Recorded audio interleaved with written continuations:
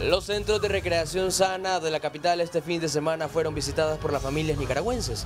En el Parque Las Madres los consentidos del hogar jugaron y se divirtieron en los juegos ubicados en este espacio construido por el gobierno sandinista. Muy buenos porque así uno saca a los niños a distraerlos, a pasear y así ya no anda este, con miedo, salir con miedo, porque si uno dice, ay, no, no vamos a salir porque nos puede pasar algo, pues gracias a Dios ya se está calmando el país.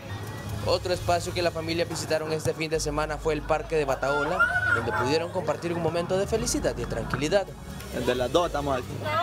¿Qué te parecen estos lugares de esparcimiento y recreación para los niños y los jóvenes? Bien, bien, gracias a Dios estamos. Planes están.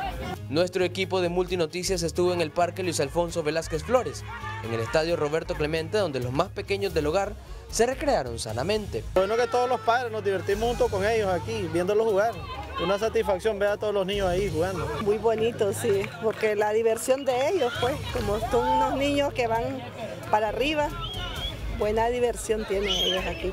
Nuestro recorrido finalizó en el puerto Salvador Allende, donde centenares de familias llegaron hasta este centro turístico para disfrutar de los distintos espacios que ofrece este lugar. Ya nos hacían mucha falta. Me siento feliz de poder estar aquí y ver a la gente y ver la Nicaragua que siempre hemos querido. Vivirlo en paz, en tranquilidad. Así es, poder disfrutar, poder salir después de trabajar una semana, tener algo para recrearse la mente. Eso me gusta. Estos espacios que unen a la familia son importantes. Son importantes para la mente, o sea, tenemos que tener salud mental, no solo ir creciendo en cosas, en poder comprar, sino en poder compartir.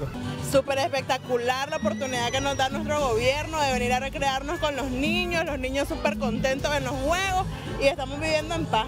Aquí nos encontramos disfrutando en familia, ¿verdad? En este nuevo espacio muy bonito para los niños, hay juegos para los niños, para los adultos, ¿verdad?